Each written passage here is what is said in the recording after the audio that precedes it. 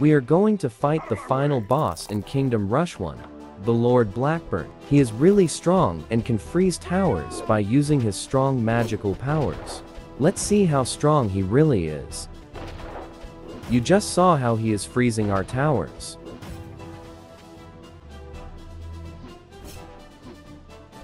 For honor and glory.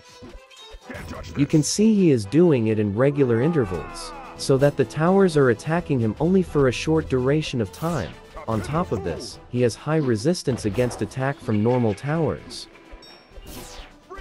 The only good thing is that, he has no insta-kill ability, so Malik can stop him for longer period of time, which is actually helping us while he is freezing the towers.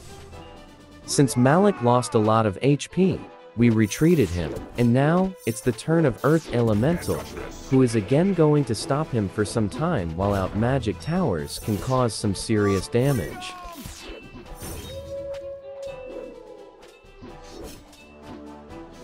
Now, he has his allies coming to help him. This can cause a problem because our towers will start attacking his allies, and he will move towards our gates without much problem. So we have to cause more damage to him before his allies get closer to him.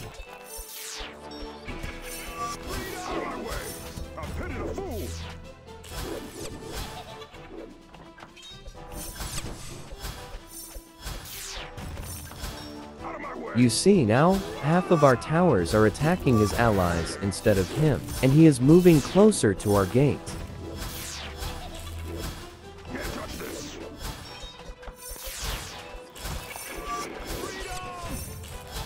Malik is doing a good job by stopping him and give us more time to attack him, but we know once he moved closer to our gates, we do not have many strong magic towers to attack Blackburn, so we have to destroy him soon. Can't touch this. I am going to use the Rain of Fire to destroy Blackburn. Even though Blackburn is a strong boss, we managed to defeat him without much trouble. I think the Kingpin is a lot stronger than him. Please let me know your opinion.